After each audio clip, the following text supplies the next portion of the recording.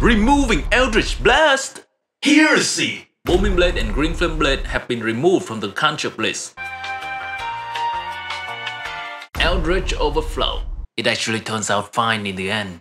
The homebrewing community that aim at balancing D&D 5e is vast, and there are always people that are smarter than me and having more experience with the system than me. Thus, a good balancing homebrew may have already been written by someone else. In this video, I'll be reviewing the Warlock Plus homebrew from Easy, but only the part where it's most innovative and essential to fixing the Warlock. Then, I'll offer my opinion, what I like, what I don't like, whether the homebrew successfully fixed the Warlock, are there any problems or potential abuse cases. And at the end, I also offer my slightly tweaked version of this homebrew so it's easier and simpler to adopt into a casual playing table. Let's get into it. So I came across this Warlock homebrew recently, and I gotta say, I'm amazed by how well written and well thought out it is. Now the main purpose of this homebrew, I think the author put it very well. Why are you reworking Warlock? Here's the author response. Warlock for me has always been a bit of a problem child. It is an extremely potent multi-class dip, allowing any character the equivalent of full martial damage progression with just two levels, essentially taking the Eldritch Blast cantrip and Agonizing Blast invocation at level 2.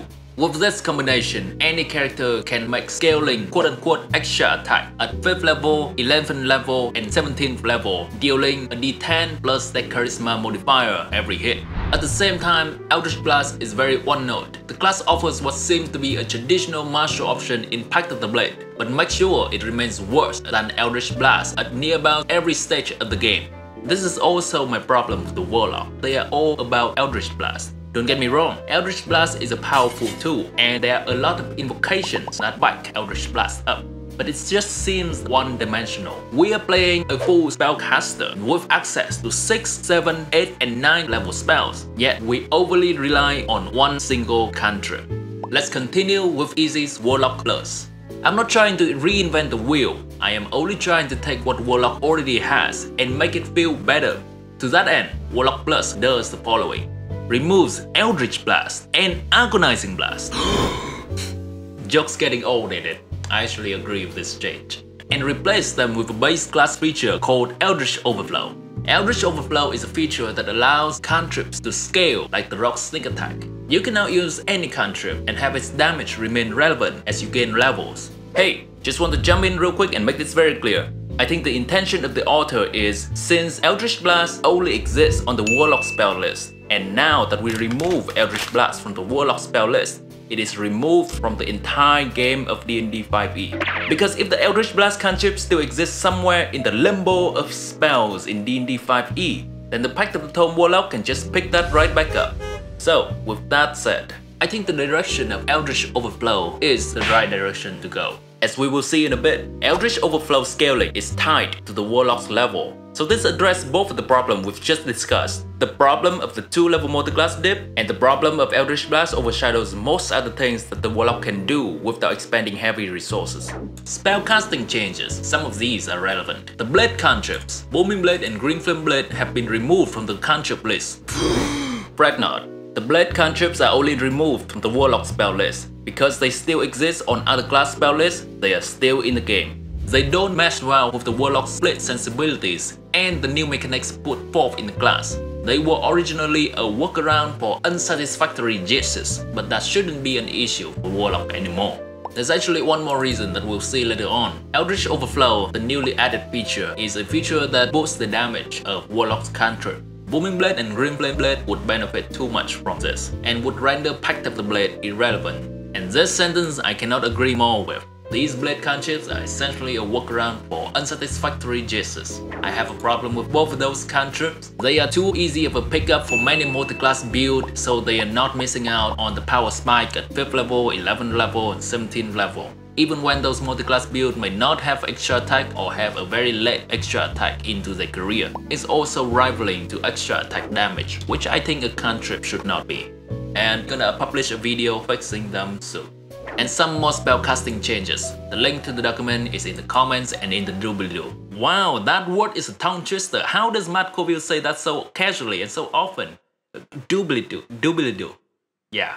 So far, we've excluded Eldritch Blast from the Warlock class and therefore from the whole game. we've also excluded the blade cantrips, Booming Blade and Green Flame Blade from Warlock class. Here's that famous feature that's been mentioned at the very beginning of this document, Eldritch Overflow. The feature that's supposed to make Warlock still at the same power level as Eldritch Blasting with Agonizing Blast like before. But it also has to discourage the 2 level dip and it has to work with any cantrips, allowing us to pick our own flavorful cantrips for our Warlocks. That's a big task and a lot of expectation for one feature. Let's see how the feature does. Eldritch Overflow at second level, your patron has made you a battery of magic power. You have a magical reserve of power called your Eldritch Overflow. You can only use your Eldritch Overflow once each turn. When a creature takes damage from one of your Warlock cantrips as a result of being hit by a spell attack or failing a saving throw, you can use your Overflow to deal an additional 1d8 damage to it. The amount of extra damage increases to 2d8 at 5th level, 3d8 at 8th level, 4d8, 11, 5d8, 14, 6d8 at 17th level. If the cantrip damages 2 or more creatures, you can distribute these dice among them however you wish.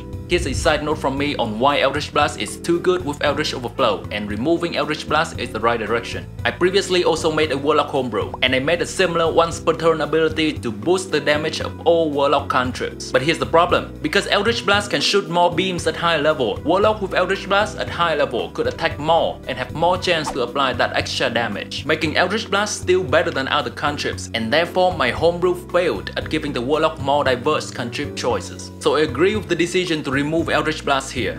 It works. Drastic, but works. Also, Pact the Blade, at third level, there's a slight change. The attacks you make with your Pact weapon can use your Charisma modifier instead of Strength or Dexterity modifier for its attack and damage rolls. Wow, this is very similar to my Hexblade and Pact the Blade homebrew. I guess other people feel the same about how strong the Hexblade is for multi-classing and how weak Pact of the Blade is. Easy also gives Pact the Blade proficiency with medium armor. Just armor though, not a shield. I don't give Pact the Blade proficiency with medium armor in my own homebrew. I'll give this some thought. Easy also added whenever you hit a creature with an attack using your pact weapon as part of the attack action or a reaction. You can use your Eldritch Overflow to make the attack deal additional damage equal to your Eldritch Overflow dice. Let's go on with the Q&A. Why did you decide to use a feature like Eldritch Overflow? Couldn't you achieve something similar just by making Eldritch Blast a class feature? Or potentially, but my goal with Overflow was to do more than just make Eldritch Blast harder to multi-class for, by providing a universally applicable scaling modifier to the base class of Warlock. You provide a way for all Warlocks to scale regardless of what modular options you pick. Plus, it encourages you to pick your own core cantrips rather than having them dictated for you. This also helps Pact of the Tome stand out a bit since the cantrip choices actually can make a difference in combat. I agree with this isn't an additional 68 at will damage too strong. That's 10 d8 damage every turn with Produce Flame. Simply put, it is a lot of damage. However, the average damage of a full Eldritch Blast 4d10 plus 4 times Charisma is 42 and the average damage of 10d8 is 45. In essence, I switched to Warlock from operating on a fighter scaling to a rogue scaling. PHB Warlocks also have the option of running with the Hex spell, which can last an entire adventuring day. In exchange for the loss in the spell slot efficiency, they get new and buffed invocation, as well as the increased cantrip variety I already mentioned. Here's my own damage calculation. With Eldritch Overflow feature, all the cantrips from D8 damage die to a D12 damage die do more damage than Eldritch Blast Agonizing Blast without Hex, and they all do less damage than Eldritch Blast Agonizing Blast with Hex. So I think this is a fine trade-off. On the one hand, the Warlock can no longer boost their damage to the same height before with Hex. On the other hand, the Warlock can always do a little bit more damage than before without having to concentrate, leaving the concentration free onto other spells. Let's look at the fine wording of Eldritch Overflow here. Time for nitpicking. The damage can be dealt once each turn, quite similar to the Rogue Sneak attack. So this means if we somehow can cast a cantrip on a different turn, say as a reaction, maybe we have Warcaster, that would would benefit from Eldritch Overflow. And also similar to a rogue, if the Warlock Plus can somehow get advantage on their only cantrip attack roll on a turn to deliver that Eldritch Overflow damage, Or similarly in this case, if the Warlock Plus can give the enemy disadvantage on their cantrip saving throw, then the Warlock Plus damage output will be multiplied. So I have a minor problem with that, because a Goblin player race can hide as a bonus action. So a Goblin Warlock Plus could potentially hide as a bonus action, giving themselves advantage on their only cantrip attack roll every turn, boosting the damage quite a bit. Meanwhile, the original Goblin Warlock would only be able to gain advantage on the first Eldritch Blast beam, the Mindsliver cantrip will also be better with a Warlock Plus because if we cast Mindsliver consecutively, giving the enemy minus 1d4 on their saving throw, then the next Mindsliver is more likely to land. Normally, a Mindsliver doesn't do that much damage for it to matter, but with the Warlock Plus Eldritch Overflow, that would make a difference to our Mindsliver damage output. I've punched the number in, and it turns out that Mindsliver with Eldritch Overflow rivals the damage of a D8 cantrip with Eldritch Overflow.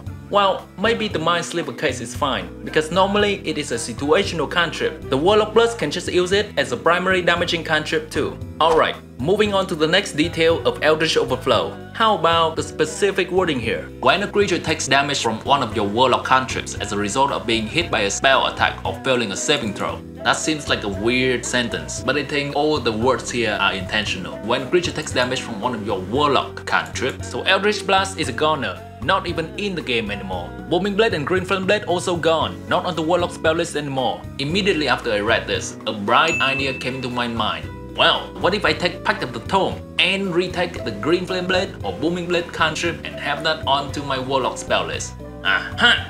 Well, they would actually, specifically, still not work with Eldritch Overflow as a result of being hit by a spell attack or failing a saving throw.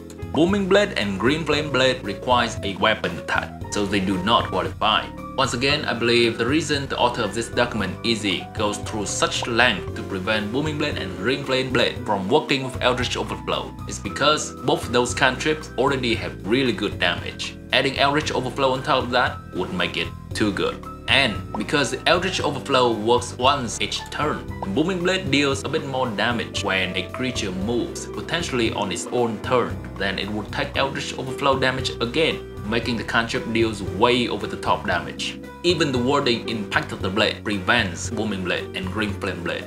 Here, it says, Whenever you hit a creature with an attack using your pact weapon as part of the attack action or a reaction,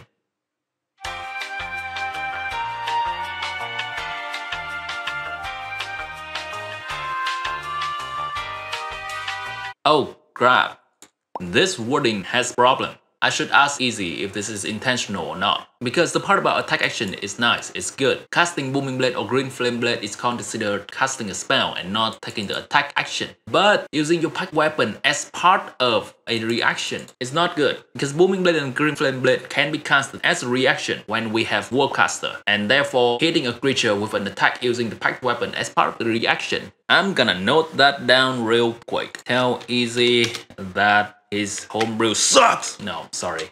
Wordings in his homebrew needs change. Hey, Thien for the future here. I just got back from talking to Easy. Such a nice guy. Nerdy too. But that's to be expected, right? He wrote this whole document. So his original intention is to make Pact of the Blade not work with Booming Blade or Green Flame Blade at all. But coming up with a wording for that is too hard. So he's gonna live with this wording for now until he thinks of something better.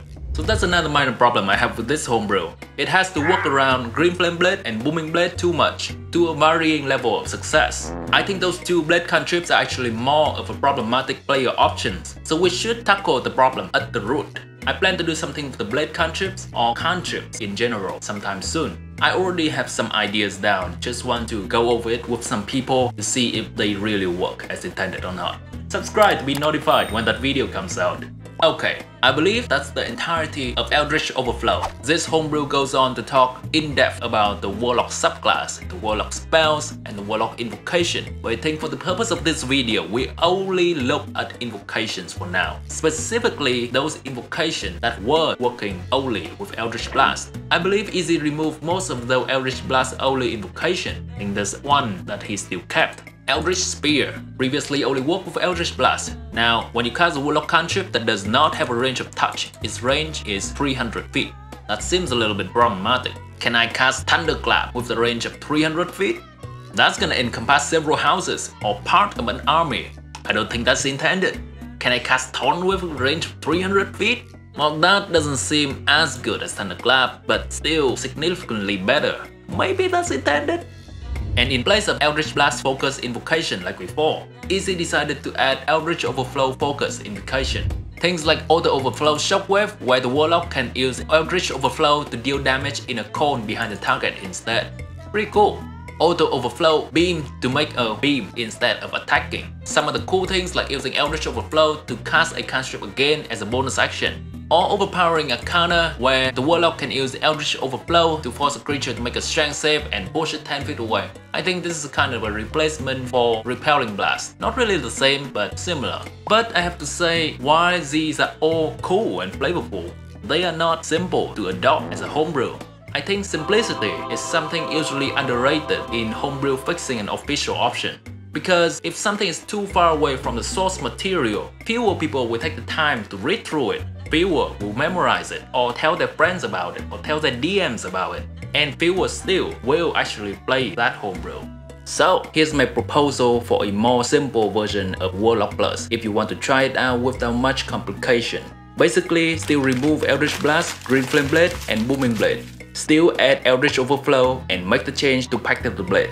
But we don't need any new invocation at all. And for the original invocation that focuses on Eldritch Blast, there are 5 of them. Here are my simple recommendations. Agonizing Blast, remove. Eldritch Spear, remove. Grasp of Hadar now reads, when a creature takes your Eldritch Overflow damage, you can move that creature in a straight line 10 feet closer to yourself. Once you use this feature, you cannot do so again until the start of your next turn. Lance of Lethargy, similar wording, but instead of pulling a creature to us, we're gonna reduce that creature's speed by 10 feet until the end of our next turn.